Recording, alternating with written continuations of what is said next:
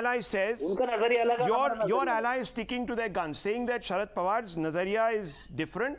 And he said you should have raised issues that matter to the public. Rahul Gandhi had made this the super important issue. The only important issue is taking it to the polls. He's taking it to 2024. I'm asking you, sir, is Mr. Pawar today suborned in some way? I'm asking you. Or by saying this, he has completely deflated Rahul Gandhi's focus and the opposition's focus, saying that you guys wasted the nation's money by doing this. Uh, Rahul, if I'm not interrupted, I would like to give a quick response to your question and what somebody else spoke earlier. You know, very selective cherry picking, quoting Credit Suisse, which, by the way, Forget even that, if sir. it Just answer the question. problems- Sanjay Jha, forget that. You, you, you, know, Rahul, it's not fair, you know, that you allow the BJP spokesperson an uninterrupted schedule I don't mind that, but how to answer answer. the question no, on me do my Pawar. part. Okay, fine. know, listen, give Go me ahead, my go ahead. freedom of expression. Go ahead. No, no, fair enough. Fair enough, sir. Go ahead. Take your time. Go ahead. Yeah. So Rahul, in simple terms, Yeah. Credit Suisse, whether it goes bankrupt or whether it's sold, it doesn't matter. It had a view on the on the entire assets of the Adani Group. And by the way, why are we forgetting Standard Chartered? Why are we forgetting Citibank that actually considered the Adani bonds as junk bonds? So let's not do any selective cherry picking here.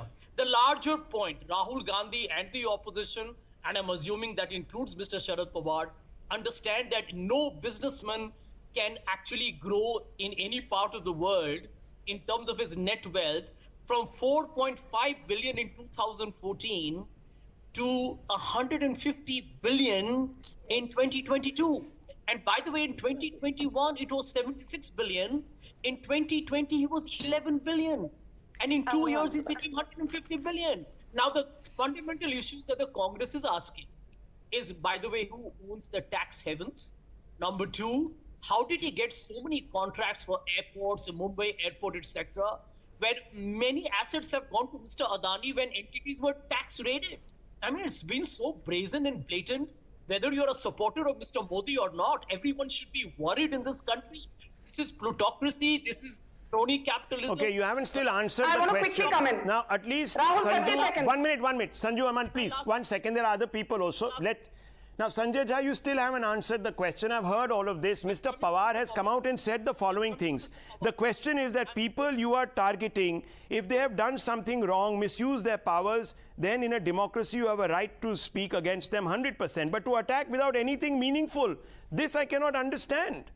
Today, Ambani has contributed in the petrochemical sector. Does the country not need it? In the field of electricity, Adani has contributed. Does the country not need electricity? These are people who take up such responsibility and work in the name of the country. If they have done wrong, you attack. But they've created this infrastructure to criticize them does not feel right to me. I mean, he has gone to such lengths. And Sanjay Jha, you are giving me a debate. No, no, I mean, you're giving me a response I on want to some. answer your question. No, no, yeah, I'm I can't wait for 10, 10 minutes. I have other stuff also No, no, to do. no, no. Get to I the need to point. come in just Doctor, one quickly, second. Dr. Ranganathan, On- let me come. Mr. No, let Pawar, me, uh, let please, me don't, you- you know, this kind of filibustering that happens night after night, Sanjay Jha, with you, it's tiring. you- You know, one second, it's tiring to the viewer.